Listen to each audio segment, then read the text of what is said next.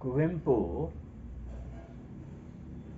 ಅವರು ನಾನು ನಾಲ್ಕು ವರ್ಷ ನಾನು ಮಹಾರಾಜಾಸ್ ಕಾಲೇಜಿನಲ್ಲಿ ನೋಡ್ತಾ ಇದ್ದೆ.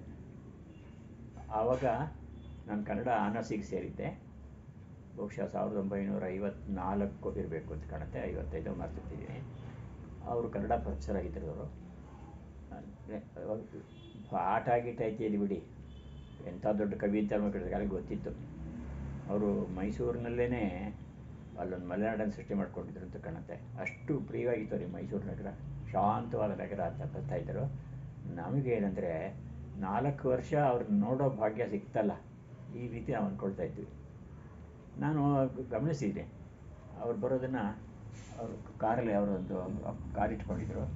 ಅವರೇ ಡ್ರೈವ್ ಮಾಡ್ಕೊಂಡು ಬರ್ತಾಯಿದ್ರು ಬಂದ ಮೇಲೆ ಅವ್ರಿಗೆ ಮಹಾರಾಜಾಸ್ ಕಾಲೇಜಿಗೆ ಬರೋ ತನಕ ಯಾರೂ ಅವ್ರ ಎದುರಿಗೆ ಸುಳಿತಾ ಇಲ್ಲ. ಸುತ್ತ ಗೊತ್ತಾ ಇಲ್ಲ ನಿಂತ್ಕೊಂಡ್ಬಿಡೋರು ಎಲ್ಲರೂ ಅಧ್ಯಾಪಕರು ಈವನ್ ಈವನ್ ಟೀಚರ್ಸ್ ಲೆಕ್ಚರರ್ಸ್ ಅವ್ರು ಕೂಡ ಹಾಗೆ ನಿಂತ್ಕೊಳ್ತಾ ಇದ್ರು. ಅವ್ರು ಹೋಗೋದನ್ನು ಗಮನಿಸ್ತಾ ಇದ್ರು. ಕುವೆಂಪು ಯಾವುದು ಇಲ್ಲ ಆನೆ ಹಾಗೆ. ಒಂದು ರೀತಿ ಮಂದ ಗಮನ ಅವರದ್ದು. ನೋಡಿಕೊಂಡು ಅವರು ಕಾರ್ ಬಾಗಿಲು ಹಾಕ್ಕೊಂಡು ಅವರು ಮಹಾರಾಜಾಸ್ ಕಾಲೇಜಿಗೆ, ಅದು ಯುವರಾಜಾಸ್ ಕಾಲೇಜ್ ಹತ್ತಿರ ಬಂದು ಅಲ್ಲಿ ಇಳಿತಾ ಇದ್ದರು ಸ್ಟೆಪ್ಸ್ ಹತ್ತಬೇಕಲ್ಲ ಮಹಾರಾಜಾಸ್ ಕಾಲೇಜಿಗೆ ಮೇಲೆ ಹೋಗ್ಬೇಕಾದ್ರೆ ಒಂದು ಬಿಲ್ಡಿಂಗ್ ಇದೆ. ಅದು ಹತ್ತಿ ಹೋಗಬೇಕು, ಅವ್ರ ಮಧ್ಯದಲ್ಲಿ ಸರಸ್ವತಿ ವಿಗ್ರಹ ಇದೆ. ಅದಕ್ಕೆ ನಮಸ್ಕಾರ ಮಾಡಿ ಅವರು ತಮ್ಮ ರೂಮ್ ಹೋಗ್ತಾಯಿದ್ರು ಮಾಡಿ ಹತ್ತಿ ಹೋಗ್ತಾಯಿದ್ರು ಆಮೇಲೆ ನಾವು ಅವ್ರನ್ನ ನೋಡೋ ಅಷ್ಟೇ ಕೆಲಸ ನಮಗೆ. ಎಷ್ಟು ದೊಡ್ಡ ವ್ಯಕ್ತಿತ್ವ ಅನ್ನೋದು ನಮ್ಗೆ ಅವಾಗ ಗೊತ್ತಾಗೋದು. ನಾನೊಬ್ಬನೇ ಅಲ್ಲ, ನಾನು ಅಧ್ಯಾಪಕರು ಕೂಡ ಹೀಗೆ ಮಾಡ್ತಾಯಿದ್ದಾರೆ ನೋಡಿದ್ದೀನಿ ಆಮೇಲೆ ಹಳ್ಳಿ ಶಿವಮೊಗ್ಗ ಕಡೆಯಿಂದ ಹಳ್ಳಿಯಿಂದ ಬಂದು ಹುಡುಗರು ಇದ್ರಲ್ಲ, ಅವರು ಎಲ್ಲ ಬಹಳ ಕುತೂಹಲದ ಕಣ್ಣು. ಇಟ್ಕೊಂಡು ಅವ್ರನ್ನ ನೋಡ್ಕೊಂಡಿರ್ತಾ ಇದ್ದರು. ಇಂಥ ವ್ಯಕ್ತಿತ್ವ ಅವರದ್ದು. ಒಬ್ಬ ಕವಿ, ಅಧಿಕಾರಿಯಾಗಿ ನಮ್ಮ ಎದುರಿಗೆ ಬರ್ತಾ ಇದ್ದಾರೆ ಅಂತಂದರೆ, ಅವರು ಕಾವ್ಯದ ಶಕ್ತಿ ಹೆಚ್ಚು, ವ್ಯಕ್ತಿತ್ವದ ಘ, ಒಂದು ಸೆಳೆತ ಹೆಚ್ಚು ಅನುಮಾನ ಆಗ್ತಾ ಇದೆ. ಅಷ್ಟು ದೊಡ್ಡವರು ಅವರು. ನಾವೆಲ್ಲ ಗಂಭೀರವಾಗಿ ಅವ್ರು ಬರೋದನ್ನು ನೋಡ್ತಾ ಇದ್ವಿ. ಕಾರ್ಯದ ಇಳಿದು ಭಾರದಾಸ್ ಕಾಲೇಜಿಗೆ ಹೋಗಿ ಮೆಟ್ಲು ಹತ್ತಿ, ಸರಸ್ವತಿ ವಿಗ್ರಹಕ್ಕೆ ನಮಸ್ಕಾರ ಮಾಡಿ, ಆಮೇಲೆ ಅವ್ರು ಹೋಗ್ತಾಯಿದ್ರು ನನಗೆ ಅನ್ನಿಸ್ತು ಇದು ಋಷಿ ಅಂತಲೇ ಕಾಣ್ತಾ ಇತ್ತು ನೋಡೋದಕ್ಕೂ ಕೂಡಲೇ ಋಷಿ ಋಷಿ ಅನ್ನಿಸ್ತಾ ಇತ್ತು ಮತ್ತು ತಪಸ್ವಿ ಅನ್ನಿಸ್ತಾ ಇತ್ತು ಯಾರ ಹತ್ರ ಮಾತಾಡ್ತಿರ್ಲಿಲ್ಲ ಅವರು ಮೌನ, ಹೆಚ್ಚು ಮೌನ. ನನಗೆ ಬೇರೆ ಅಧ್ಯಾಪಕರು ಆಗಲ್ಲ ನನಗೆ ಬೇರೆ ಅಧ್ಯಾಪಕರು ನಮ್ಮ ತಿಳ್ತಿರಲ್ಲ ತುಂಬ ಮಾತಾಡ್ತಾರೆ, ಹರಡ್ತಾರೆ, ಎಲ್ಲ ಮಾಡ್ತಾರೆ. ನಮಗೆ ಸಿ ನರಸಿಂಹಯ್ಯ ಅಂತ ಪ್ರಿನ್ಸಿಪಲ್ ಆಗಿದ್ದರು ಅವರು. ಭಾಳ ಸ್ಟ್ರಿಕ್ಟ್ ಅವರು. ಭಾಳ ದೊಡ್ಡ, ತುಂಬ ದೊಡ್ಡ ಮನುಷ್ಯರು. ತುಂಬ ನಾನು ಆರಾಧಿಸುವ ವ್ಯಕ್ತಿಗಳಲ್ಲಿ ಅವರು ಒಬ್ಬರೇ ಅವ್ರ ಕಾಲದಲ್ಲೇ ಇವರು ಪ್ರೊಫೆಸರ್ ಆಗಿದ್ದು, ಕನ್ನಡ ಪ್ರೊಫೆಸರ್ ಆಗಿದ್ದು. ಅವ್ರ ಬರವಣಿಗೆಗಿಂತ, ವ್ಯಕ್ತಿತ್ವಕ್ಕಿಂತ, ಮತ್ತು ಸಮಾಜದವರಿಗಿಂತ ಗೌರವಕ್ಕಿಂತ ನಾವು ಗಮನಿಸಬೇಕಾದ ಆ ವ್ಯಕ್ತಿತ್ವದ ತೇಜಸ್ಸು ಅಂತ. ಈ ತೇಜೋವಂತ ಮೂರ್ತಿ ಅಂತ ನಾನು ಯಾರನ್ನಾರು ಕರೆಯದಿದ್ದರೆ ಅದು ಇವ್ರನ್ನೇನೆ ಕುವೆಂಪು ಅವ್ರನ್ನೇನೆ ನಾವು ಅವ್ರ ಹತ್ರ ಹೋದರೂ ಅಷ್ಟೇ, ಧ್ಯಾನಸ್ಥರಾಗಿರ್ತಾ ಇದ್ದರು ಮಾತಾಡ್ಬೇಕಾದ್ರೆ.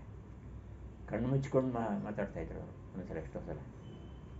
ಬೆಂಗಳೂರಿಗೆ ಬಂದಮೇಲೆ ನಾನು ಒಂದು ಸಲ ಕನ್ನಡ ಸಾಹಿತ್ಯ ಪರಿಷತ್ತಿನ ಅಲ್ಲಿ ಮಾತಾಡಬೇಕಾಗಿತ್ತು ಅವರು ನಮ್ಮ ಕರೆಸಿದ್ದು ನಾವು ಕರೆಸಿದ್ದು ಪರಿಷತ್ ನಾನು ಇದ್ದೆ ಪರಿಷತ್ನಲ್ಲಿ ಅವಾಗ. ಅವರು ಕವಿಗಳನ್ನು ಉದ್ದೇಶಿಸಿ ಮಾತಾಡ್ತಾ ಇದ್ದರು ನಿಸಾರ್ ಅಹಮದ್ ನನ್ನ ಪಕ್ಕದಲ್ಲೇ ಇದ್ದ. ಅವೆಲ್ಲ ಕೇಳಿದ್ವಿ ಏನು ಮಾತಾಡಿದ್ರು ತುಂಬ ಚೆನ್ನಾಗಿ ಮಾತಾಡಿದ್ರು ಅವರು. ಜೊತೆಗೆ ಪ್ರಶ್ನೆಗಳನ್ನ ಕೇಳಿದ್ರು. ನಿಮಗೆ ನವ್ಯ ಕವಿಗಳ ಬಗ್ಗೆ ಏನು ಅಭಿಪ್ರಾಯ ಇದೆ ಅಂತ. ಸ್ವಲ್ಪ ನವ್ಯ ಕವಿಗಳಿಗೂ ಅವ್ರಿಗೂ ಸ್ವಲ್ಪ ಅಸಮಾಧಾನ ಇತ್ತು ಅವಾಗ. ಅದಕ್ಕೆ ಕಾರಣ ಏನಂದರೆ ಕುವೆಂಪು ಅವ್ರು ಹೇಳ್ತಾ ಇದ್ದದ್ದು ತಪಸ್ವಿ ಆಗದೇ ಇದ್ದವನು ಕವಿ ಆಗೋಕ್ಕಾಗಲ್ಲ ಅಂತ. ಕವಿ ಆಗಬೇಕಾದ್ರೆ ತಪಸ್ವಿ ಆಗಬೇಕು. ಇಷ್ಟು ಈ ಮಟ್ಟದ ಒಂದು ಸ್ಟ್ಯಾಂಡರ್ಡ್ ಇಟ್ಕೊಂಡಿದ್ರು ಅವರು. ಅದಕ್ಕೆ ನಾನು ನಿಜಾರ ಮತ್ತು ನಾವೆಲ್ಲಿ ಕೂಡಿಸಿದ್ದು ಕೆಳಗಡೆ ಕೂತಿರ್ತಾ ಇದ್ವಿ. ಏನೋ ಏನೋ ಮಾತಾಡ್ತಾ ಇರೋರು. ಭಾಷೆ ಬೆಳಿಬೇಕಾದ್ರೆ ವ್ಯಕ್ತಿ ಬೆಳಿಬೇಕು. ಅವನು ಬೆಳೆದಾಗ ಆಡಿದ ಮಾತಿಗೆ ಬೆಲೆ ಬರುತ್ತೆ.